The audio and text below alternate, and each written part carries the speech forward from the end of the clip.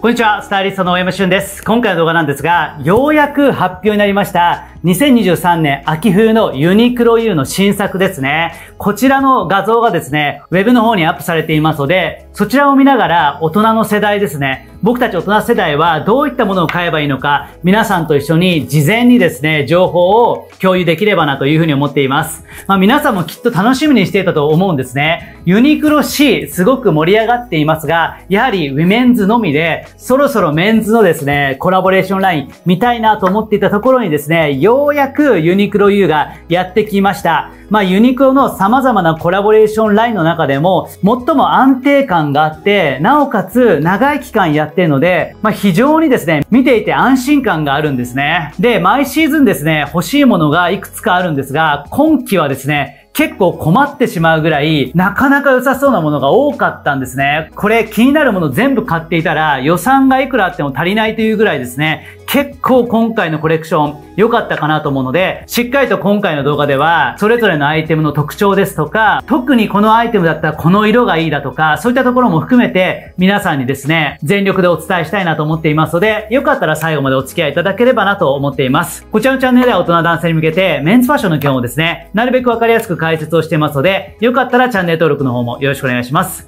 それでは早速、行ってみましょう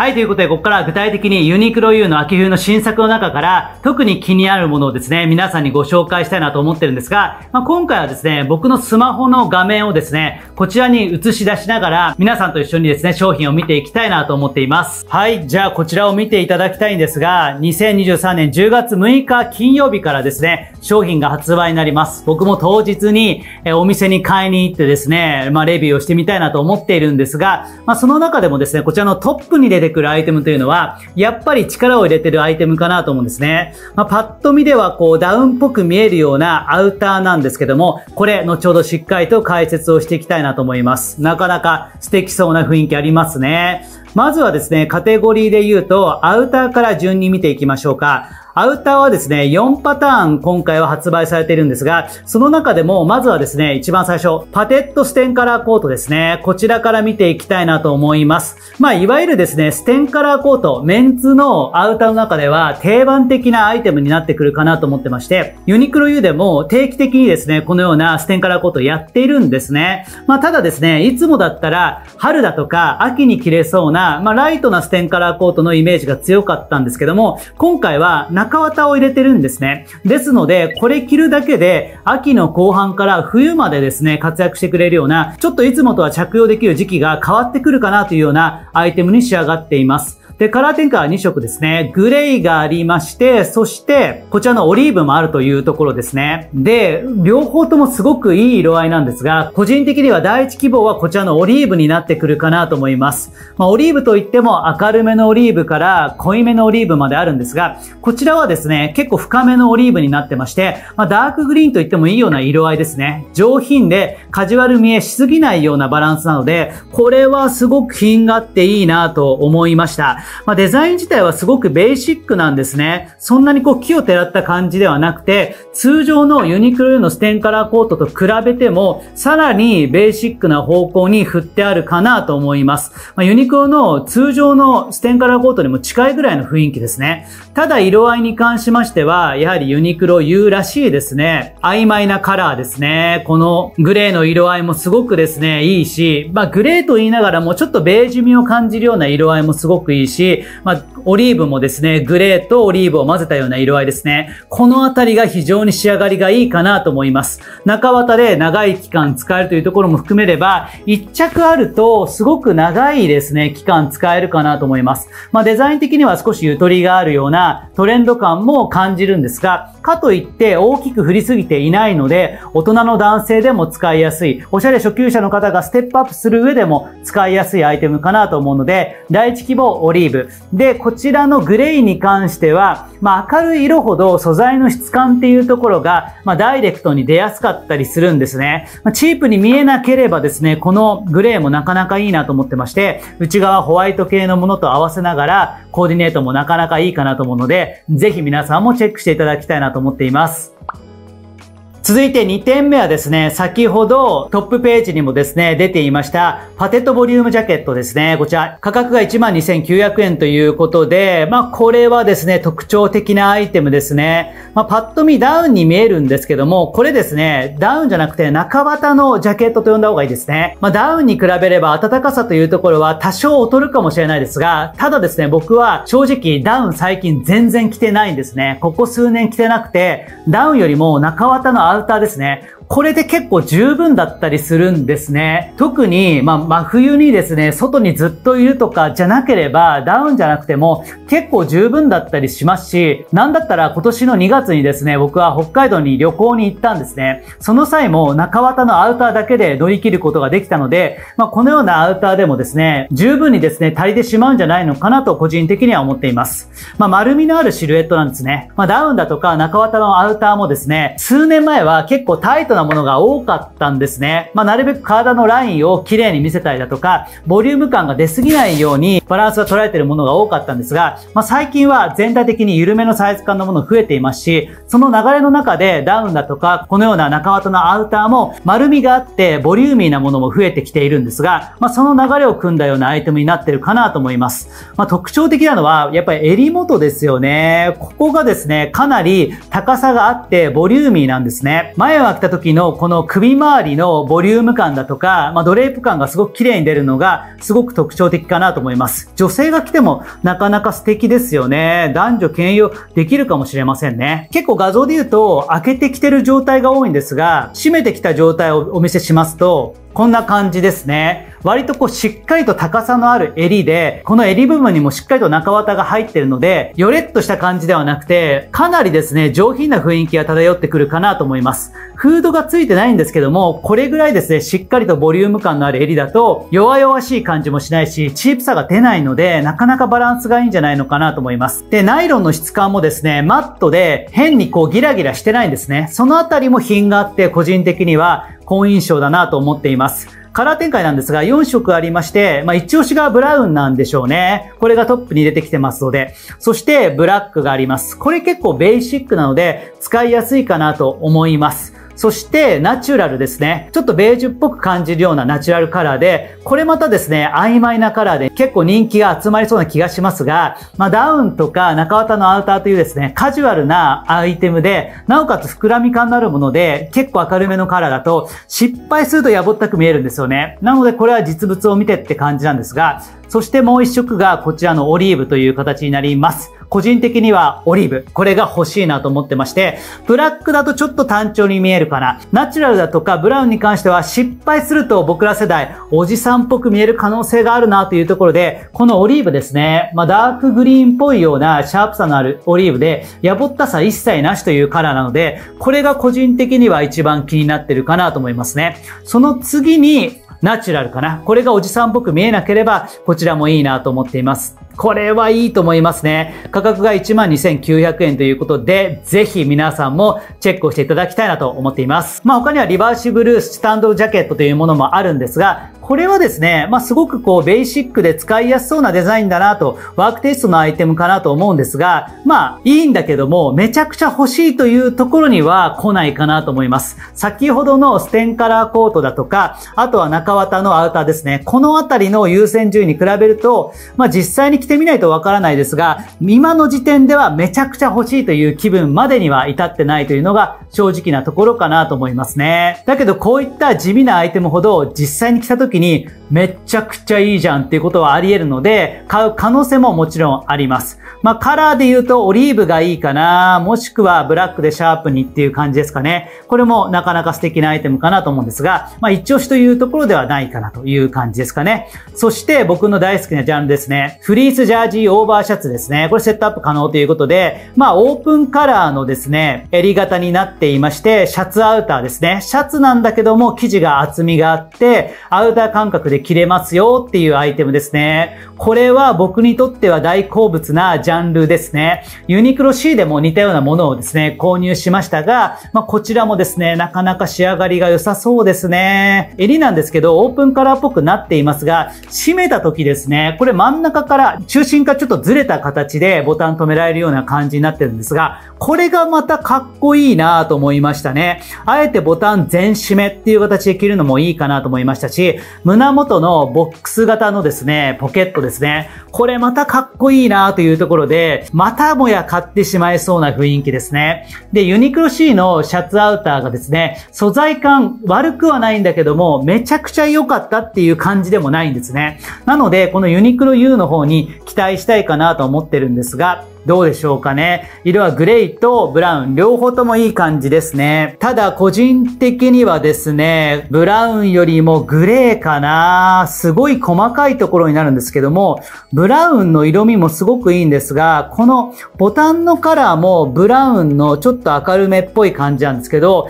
この色味がちょっとこうやぼったく見えちゃうかなと思ったので、個人的にはシャープにまとまっているダークグレーですね。ボタンも同色で馴染んでる感じがすごく上品でいいかなと思いました。まあ、フリースで気軽に羽織れるというところですね。そして色味の深さだとか、あとはペタッとした表面感ではなくて、ちょっとこう木っぽく感じるあたりですね。そのあたりも含めてなかなかバランスがいいんじゃないのかなと思っているので、これも注目しています。価格が5990円ということで、まあ、アウター系の中ではすごく買いやすいので、まあ、ぜひ皆さんもですね、こちらのアイテムチェックをしていただければなと思っています。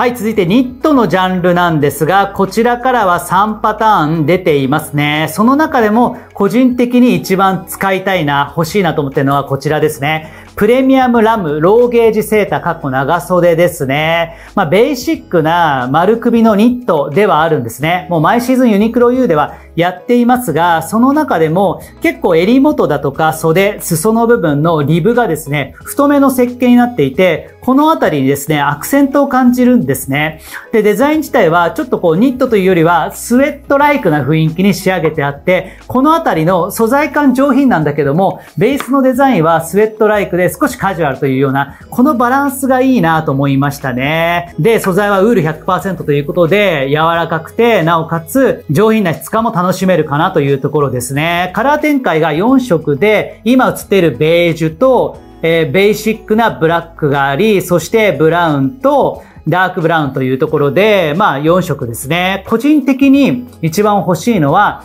えー、こちらですね、ベージュですね。柔らかみのあるベージュなんですが、ややグレイッシュな雰囲気で、やぼったく見えない、ちょっとシャープなイメージのベージュ。これが素敵だなと思いましたね。まあ、結構いろんなアウターの内側に入れた時に使い勝手がいいなということで、ベージュですね。まあ、あえてもうオールブラックで仕上げるっていうのもかっこよかったりするので、このブラックもいいし、かといってですね、このブラウン系も2色あるんですね。ブラウンと、ブラウンもちょっとなんか赤みのあるようなボルドっぽいブラウンでいいですし、でね、このダークブラウンっていうのは、またちょっと先ほどのブラウンとは違った感じですね。グレーっぽくも見えるような、そういったターブラウンですね。これもいいですよね。なんか4色あったら、この色はちょっとな見送ろっかなっていうのがあるんだけども、全部いいというですね、恐ろしい仕上がりになってますね。これは派手さはないけども使い勝手めちゃくちゃいいんじゃないでしょうかね。ベージュか、もしくはブラックでシャープに行くか。もう3色買ってもいいぐらいですよね。ブラウンのどっちかも入れてみたいなところで、まあそれぐらいですね、個人的にはバランスいいなと思ってるので、ユニクロの通常ラインのニットも結構ですね、毎シーズン似たようなものが並んでるので、新鮮さはないんですよね。そういった意味では、やっぱりユニクロ U というところで、今までにはないような雰囲気で、僕は個人的にはいいんじゃないのかなと思っております。はい。続いてですね、ニットオーバーシャツジャケットですね。まあこれはですね、ニットなんだけどシャツのデザインというところで、まあなかなか使いやすそうですね。うん。ニットポロとか、ニットシャツとか、まあそういった本来ですね、素材は違うものをメインで使うことが多いものをニットで表現するっていう流れはですね、まあ最近は増えているんですが、これもなかなか良さそうですね。ブラウンとブラックの2色ということで、これも派手さはないんだけどいいよねっていう感じですね。まあ今のところテンションがすごく上がってるかというと、まあそこまででもないんですよ。だけども、これが単体でもしも出てきたとしたら、すごく魅力を感じると思うんですね。まあ、今期もユニクロ U ですね、メインで展開する前に、パラシュートカーゴパンツとか、ブラッシュドのですね、素材感のロンティーだとか、そのあたりが単品でポンポンと出ましたよね。その流れの中で、こういったなんかニットオーバーシャツジャケットが出てきたら、すっごい欲しいなと思ったんですが、ただ今回は並び的に結構いいものが多いので、その中ではそんなに目立たないかかなという印象ですね。でもすごくいいものだと思います。あとはこういった V ネックのベストですね。これはですね、うん、おしゃれに着こなせる方もいらっしゃるかなと思うんですが、ちょっと個人的にはそこまで惹かれないかなというところですね。まあ、V ネックの襟型でっていうところですね。これもちょっとワイド感のある、ね、レイヤードしやすいようなアイテムかなと思うんですが、うん。単体で見るといいんだけども、めちゃくちゃ欲しいかというと、そこまでではないという感じでしょうかね。はい。まあ、このニットのジャンルの中では、先ほどお伝えしたプレミアムラム、ローゲージセーター、かっこ長袖ですね。これが一押しで、複数色買いたいかなと思っています。はい、続いてシャツジャンルからは、これで全部で5パターンですね。結構たくさん出ています。まあ、ユニクロ U のシャツも結構安定してどれもいいんですが、だけども、毎シーズンそんなに大きく変わらないので、なんかまあ買い足すとこまではいかないかなっていうのが最近の気分だったんですが、その中でも今回ですね、チェック柄のシャツですね。こちら、なかなか良さそうなんですよね。まあ、いわゆるこうユニクロのチェックシャツって結構ですね、通常ラインのものは、うん、絶妙にこう失敗するとおじさんっぽく見えやすいなっていうものも少なくないんですが、この柄はめちゃくちゃいいなと思いました。まあ、グレイとダークブラウンの2色なんですけども、まあ、この個人的にはですね、グレイがいいなと思っていまして、まあ、グリーンの中にもまたちょっとこうグレーっぽい色だとか、ブラウンっぽい色だとか、まあ、様々な色が使われているんですね。全体で見ると結構落ち着き感があるんだけども、チェックが持つですね、ちょっとポップな感じというところも、ほんのり大人っぽく漂っているので、これはめちゃくちゃいいんじゃないのかなと思います。で、襟型はボタンダウンになっていまして、このあたりにはですね、ちょっと落ち着いた大人感が漂っていて、サイズ感は少しゆったりめですね。まあ、リラックス感のあるシルエットというところで、まあ、ボトムスをブラックでギュッと引き締めてもらえば、意外とこのようなチェックシャツいけるんじゃないのかなと思っていまして、やっぱりこっちのグレーですね。グレーなんだけどちょっと僕にはグリーンっぽく見えるんだよなという感じですね。これ単体で着るよりも個人的にはこの上に先ほどご紹介したステンカラーコートみたいな上品なアウターですね。そういったものを重ねた時にちょっとこうコートの合間から見える。それがチェック柄というのがすごくですね、良いアクセントとして効いてくれるかなと思うので僕はこのグレー欲しいですね。ちょっと個人的にはチェックシャツが欲しいなという気分だったりするんですが、実はですね、個人的にもスティーブン・アランのですね、チェックシャツを最近購入しまして、こちらなんですよね。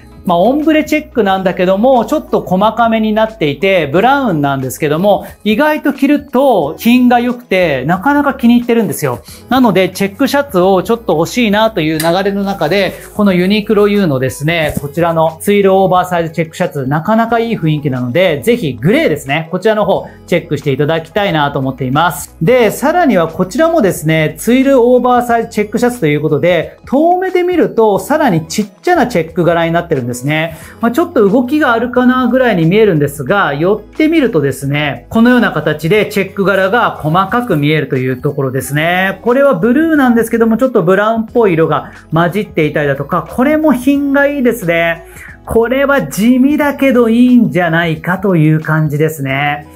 うん。まあなんかわかんないですよ。実物見て、これなんか写真で見た時は地味に見えたけど、実物見るとこっちいいよねっていうことにもなるかもしれないっていうぐらい、これもいいですよね。細かめの上品なチェック柄というところで、ちょっとこれも気になるところですね。色はブラウンとブルーですね。個人的にはこれブルー行きたいなという気分ですね。なかなか良さそうです。シャツ今回なかなかいいんじゃないでしょうかね。このストライプのグレーとベージュ混ざったようなシャツですね。まあ、分量としてはこのグレージュみたいな色合いをベースにしながら、そこにですね、白の、えー、ラインが入ってるという感じですね。グレーの方がちょっと分量は多いので、なんかすごく上品な雰囲気に見えますね。これもいいですよ。地味だけどもめちゃくちゃいいですよ。ベージュ系のステンカラーコートと合わせたくなりますよね。グレーのステンカラーコートと合わせたら、すごくなんか、グラデーションが綺麗に生まれそうな感じがして、すごくこれもいいなと思ってますね。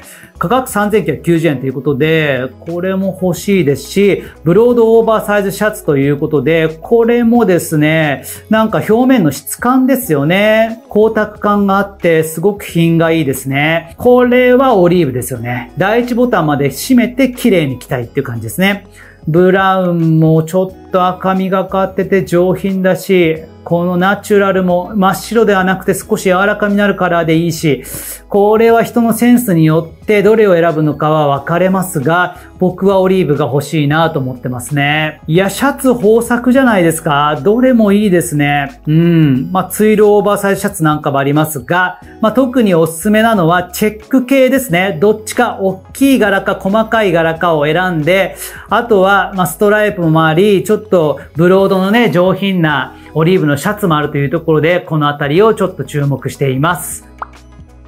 続いてはですね、T シャツカットソージャンルですね。まあ、すでに発売されているものも多いですね。ブラッシュドジャージーモックネック T シャツすごく良かったです。あとはもう定番のエアリズムコットンオーバーサイズ T シャツだとか、クルネック T シャツがありというところで、あとはですね、まあ注目してるのはこちらですね。スウェットタートルネックシャツということで、まあ先ほどのモックネックよりもしっかりと襟の高さがあるですね、タートルネックですね。で、首とそのタートルネックの生地の間の空間ですね。ここ結構たっぷりめに取られているのが特徴的ですね。このあたりがどう映るのかっていうところで、写真で見る限りではすごくバランスがいいですね。まあ、このようなアイテムというのは基本的にはこう1枚で着るというよりは、えー、重ね着のパーツとして着るような感じが一番理想的かなとは思っていますね。うん、内側もちょっと起毛感があるので、肌触りもいいし、温かみも感じるというとこでは、真冬のこうベースとなるような着こなしのパーツになるとは思いますね。これも使い勝手いいですね。こちらの動画の中では、先ほどのブラウンのシャツの内側に入れてるという感じで、シャツの内側に入れたりだとか、ニットの内側に入れたりだとか、まあ、様々な着方がでできるんじゃないでしょうかね。これは使い勝手良さそうですね。まあ、ブラックで引き締めるのか、まあ、ホワイトでちょっと抜け感出すのか、もしくは、これパープルなんですね。ちょっとブラウンがかったパープルで、これも魅力的なカラーですね。なんか重ね着の一つのパーツとして襟元を見せるというのはすごくかっこいいと思うので、これも3990円欲しいところですね。ぜひ皆さんもチェックをしていただきたいなと思っています。あとはまあ、ユニクロ U といえばね、結構このようなパーカーですね。まあ、毎シーズンやっているアイテムなんですが、ブラッシュドジャージーのプルオーバータイプですね。これまた鉄板で使いやすいんじゃないでしょうか。まあ、今季はこのブラッシュド系ですね。ちょっと起毛感のあるような素材のものも増えていますが、めちゃくちゃ欲しいかというと、まあ、ユニクロ U のパーカーもいろいろ買ってきたので、うん、いいけど、買わない可能性が高いかなと。あ、まあ、確かにこのような形で内側に先ほどのタートルのカットソー入れるのはすごいバランスいいですね。この時に首元のこの余裕がどう感じられるかですね。邪魔くさいってなんなければすごくいいし、あとはこの画像の中ではモックネック T シャツですね。そのあたりを着てますが、それぐらいのが収まりが良さそうな気はしていますね。ダークグレーの色味がすごくいいですね。このままの着こなしやりたいですね。かっこいいと思いますね。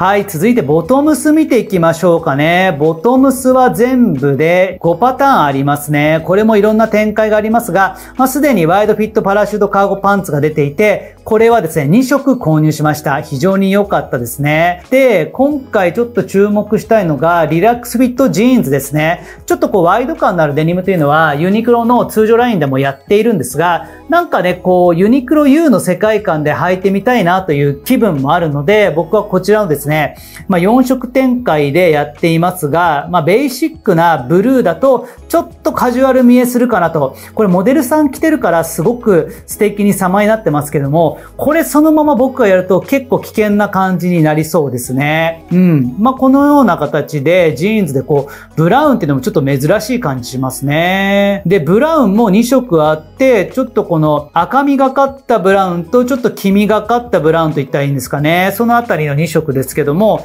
個人的にはこのダークグレーのデニムですね。これがいいんじゃないのかなと思いますね。少しこう、ウォッシュ感があって、色落ちがしているんですけども、まだ濃い部分も感じられるような上品な雰囲気に仕上がってますね。まあ、ワイド感があるんだけども、そこまでドーンと太いっていう感じではないと。ややテーパードがかってるのかなっていう感じですかね。このグレーはいいんじゃないでしょうかね。うん。裾幅はそんなに太いって感じでもないんですね。これかっこいいですね。うん。なんか着こなしのベースとして、なんかデニム久々に履きたいなっていう気分にハマりそうな気がします。上品な大人っぽいダークグレーが一押しですね。これはおそらくですね、えっと、当日はレビューできないと思いますね。僕は28インチを買うと思うので、そうなるとオンライン購入になると思うので、これ、いいですね。まあ、画像で見るとストンと落ちてる感じですね。そんなにテーパードは効いてるというか、結構ストレート寄りな感じがしますが。うん、なかなかいいですよね。これ、ブラウン系もいいっすね。ちょっと履いてみないとわかんないんですが、やっぱり僕はユニクロ U は結構長く使える印象があるので、まあ、あんまり木をてらわずにダークグレーを行きたいなと思いますね。価格が4990円ということで、かなりよくできたデニムになってるんじゃないのかなと思います。あとはワイドフィット知能ですね。このあたりも使いやすそうですね。コットンツイル、ワイドシルエットなんですけども、そこまでワイドすぎない印象ですね。色は、まあ定番的なブラウン、ベージュからブラウンみたいなカラーがあって、でも従来のチノパンみたいな感じではなくて、サイズ感もワイドに振ってあるので、これだったらなんか使えるんじゃないのかなと思います。あとはブラックですね。先ほどのシャツアウターのダークグレーと合わせた着こなしですね。ストイックだな、この着こなし。もうこのままやりたい。めちゃくちゃかっこいい、このスタイリング。僕はこういうスタイル大好きですね。かっこいいなと思いますね。あとはダークブラウンですね。ダークブラウンもすごくいい色ですね。個人的には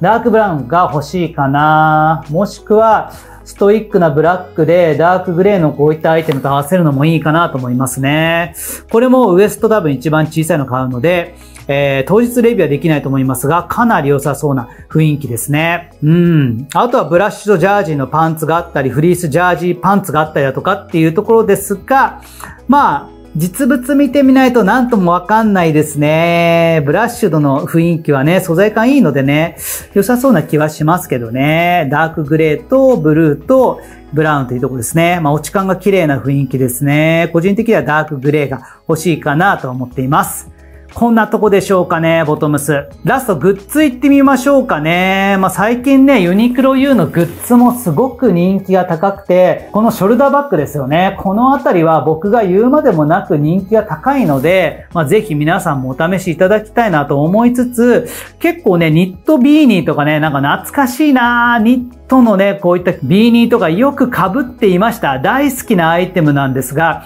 なんか折り返し部分が結構狭めの感じですね。そしてこう被った感じが割とタイトなんじゃないかな。ちょっと女性が被ってるので何とも言いづらいんですが、割と浅めの感じがします。なのでちょっとこう、ストリート感が出そうかなっていう感じがしていますが、僕は帽子大好きなので、ちょっと試してみるのもいいんじゃないのかなと思っています。まあ、オリーブかな。個人的にはこれがちょっと気になるところですが、絶対に買うかどうかはちょっとまだわかんないところですね。あと、このバックパックすごいいいですよね。なんかユニクロで僕はバッグだとか靴って買わないんですよね。というのも、そんなにバッグって量必要ないじゃないですか。まあバックパックであれば2個も3個も持っていてもしょうがないなと思ってるので、まあ1個ちゃんとしたアンドワンダーのものをですね、愛用しているんですね。だけども、このデザインはすごく良くて、なんだろうな、バックパックで大人っぽくて、デザインもエッジが効いてるんだけども、ぶっ飛びすぎてないものっていうですね、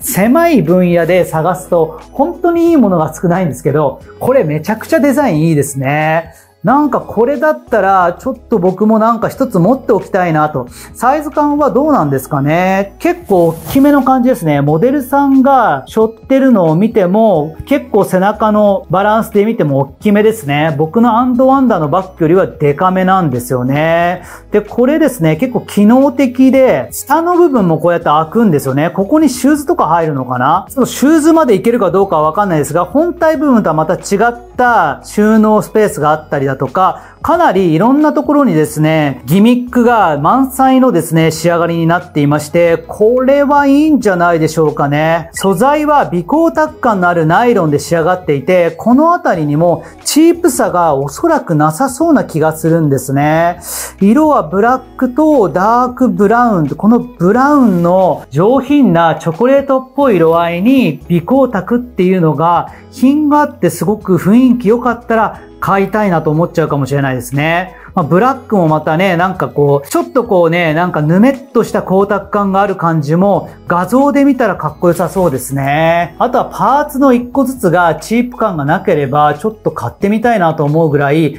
完成度激高ですね。4990円ということで、バックパックとかバック系いろいろと見てきましたが、ユニクロ U の中でもこれ結構傑作に近いような仕上がりなんじゃないのかなと思っていますね。決して5000円で買えるレベルではないと思うので、このバックパックには注目をしています。あとはデカすぎないかなってとこですね。まあ、サイズが僕デカすぎると、それまた着こなしの中で浮いてしまったりだとか、あとは使えるシーンがあんまりこう見当たらなくなってしまうので、そこだけですね、ネックは。うん。あとはまあ、これだったら一泊だとか、ちょっとした旅行でも使えそうなレベル感かなと思うので、すごくバランスのいいバックパックなのかなと思っています。あとはこのミニメッセンジャーバッグですですね。これまた、まあ、ブラウンとオリーブとブラックですね。なんかオリーブの色はいいかなと思いますね。まあ、斜めにショルダーバッグっぽくかけていただくようなアイテムなんですが、これまたですね、着こなしの一つのアクセントになるような雰囲気ですね。これなかなか雰囲気気いいですね。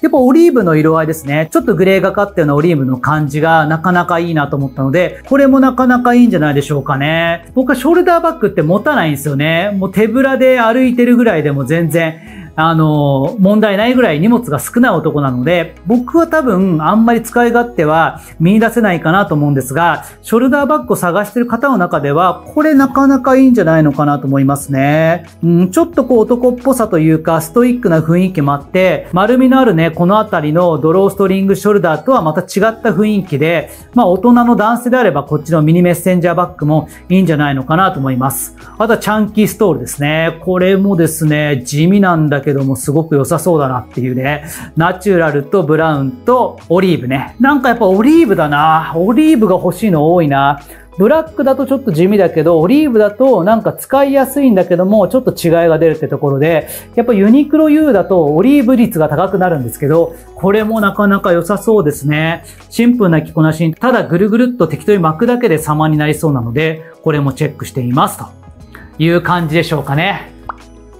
はい、ということでいかがでしたでしょうか？何分になったんでしょうかね？めちゃくちゃ長くなったような気もしますが、今回はユニクロ U の秋冬の新作ですね。こちらを実際に画面を見ながら、えー、皆さんにですね、気になるものをしっかりとレビューさせていただきました。まだレビューといっても実物を見たわけではないですし、試着をしたわけではないので、これはですね、当日いろいろと着ながら何をですね、最終的に買ったのかというところは変わってくるのかなと思います。また、ウィメンズの方チェックできてないんですが、この動画にまたウィメンズ足しちゃうと、かなりりですね、ボリューミーになりすぎてしまうので、まあ、今回はここまでにしたいなと思っています。あとは当日ですね、答え合わせを皆さんと一緒にできればなと思っていますので、まあ、ぜひ皆さんもコメント欄で、このアイテムめちゃくちゃ良さそうだなとか、大山さん触れてなかったけども、これも良さそうだなっていうのがあったら、教えていただければなと思っています。これからもですね、こちらのチャンネルでは大人男性に向けて、メンズファッションの基本、なるべくわかりやすく解説をしたいなと思ってるんですが、まあ、普段の動画の中では、なかなか触れないような、セレクトショップのオリジナルから、ドメスティックブランド、または専門ブランドですね。このあたりの情報に関しては、僕はもう一つ運営してます、こちら、